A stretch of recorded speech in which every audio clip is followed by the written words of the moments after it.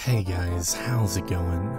This is Natenator. Welcome back to your weekly dose of creepy pasta. So as you might have noticed, this video has arrived rather later than usual. I apologize for the late upload. I screwed up and accidentally used the same audio from last week's video in this week's one, so I just had to fix that real quick. Anyway, this story is killer, so your patience will be rewarded. But before we jump into the story, I want to thank the members of the Coven over on Patreon. Shoutouts as always to the disciples Tiffany, Backwards D Dog, Vera Ohio, Jelly, Amberly Perry, Teddy Dog, Brooklyn Gonzalez, Patrick White, Jacob Stringfellow, Becca Puff, Jacob Nasa, and Bubbly Panda. Thank you for supporting me for yet another month. I really, really appreciate it, even if I screw up every now and then. Thank you for bearing with me. Now, as always, turn out the lights, get comfortable, and let the story begin.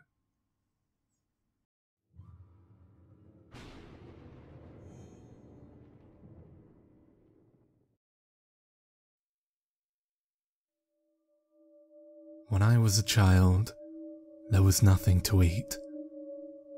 I was the eldest of five, so it was my job to make sure that I always let my brothers and sisters eat before me. War was inching inward from the coast, and as it marched closer, our food grew scarcer.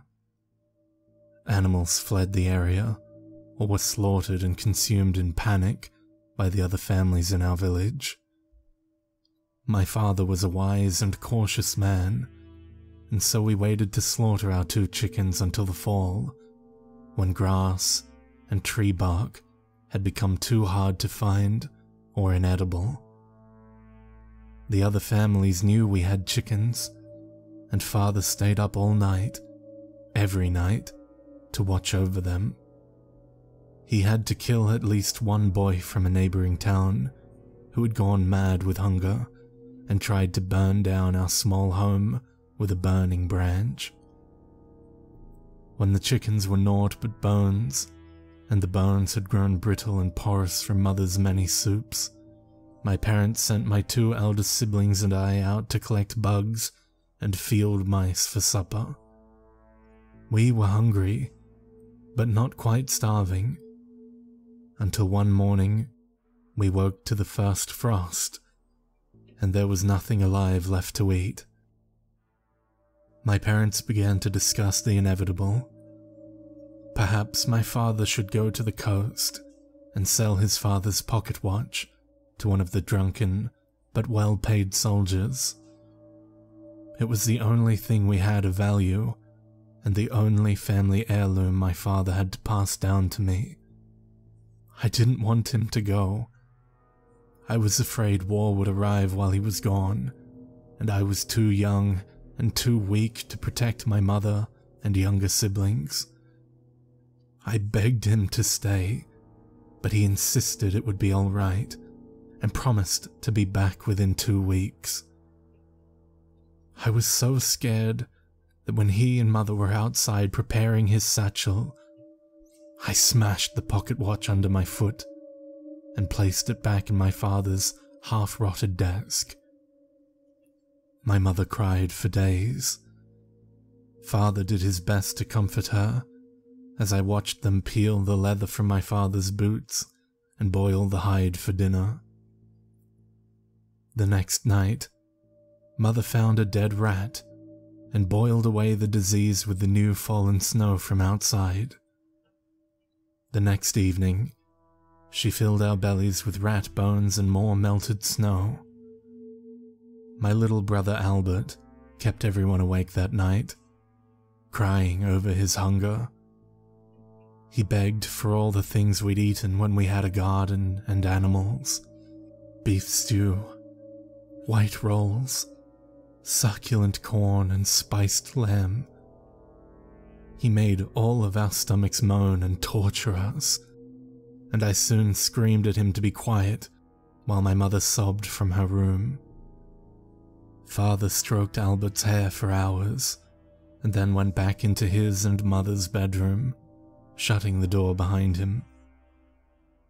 Albert moaned until the thin light of dawn peeked through our threadbare curtains. I could hear father in his room, tinkering with the watch. My hunger had long worn out my fear of soldiers, and I silently prayed that he could repair it. Father worked on the pocket watch all through the day and into the night. Celia had found dead crickets in the walls of the abandoned bakery, and as we ate them, Father emerged from his bedroom with Mother right behind. The smile on his face was one I had almost forgotten, as I'd not seen it since the day my youngest sister was born. He told us that he had repaired grandfather's watch, and that he'd heard of a soldier encampment nearby. Three days, he promised us. Three days, and I will return with carrots, lamb, and rolls so big they'll fill our bellies for a year.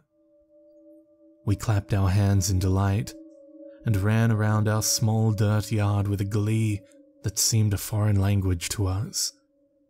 Father said that we were all to help Mother find beautiful things with which to dress the table. The next morning, he gave us all a piece of rubber from the sole of Mother's shoes to chew on and sent us out on our mission after kissing us goodbye and promising to be back before we'd remembered he'd left. We had such fun that day, gathering horseshoes and shards of broken glass. We threaded bits of twine through the horseshoes to hang above the table and tied the glass to the ends, hoping they would shimmer in the lamplight. We returned home as the sun set, happy with our day's work and eager to return to it tomorrow.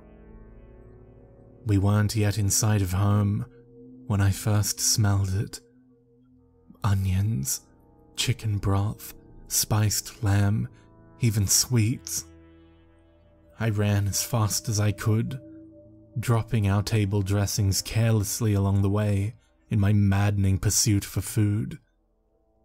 I burst through the door to find Mother at the stove, preparing our meal in a quiet reverence I threw my arms around her and asked if father was home already. Yes, my love. He had the fortunate chance of meeting a wealthy mercenary on the road who was only too happy to buy your grandfather's watch. I hugged her even tighter and sat down at the table as my brothers and sisters came spilling through the doorway. They found their places quickly, hungry expectant looks upon their faces. Father came out of the bedroom and took his seat at the end of the table as Mother brought over a steaming platter of spiced, boiled lamb. She nodded at us, and we filled our hands with the rich meat, hardly bothering with our plates. After dinner, we were sent to bed with full tummies, barely a word having been said by anyone since our food had been set on the table. We ate our fill the next night, and then the next, and the next. But as our food stock started to dwindle, so did Mother's health. Each day bled more out of her until we were left fighting over scraps of raw meat while our mother lay weak and wilting nearby. The first night I went again without food was the night that the hazy, happy ether began to lift, and my memories of the past few days became confusing.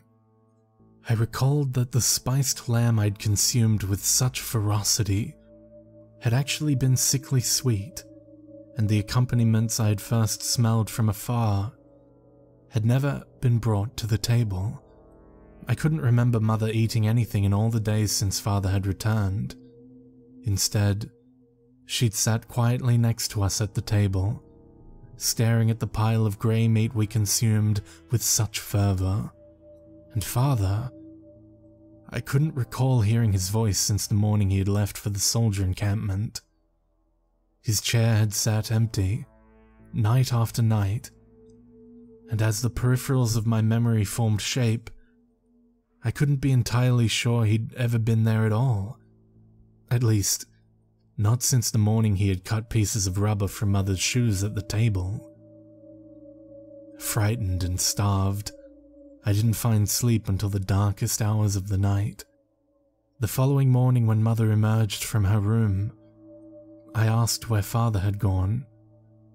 She told me he'd left to become a soldier and sent us out to peel bark off the bushes in the forest.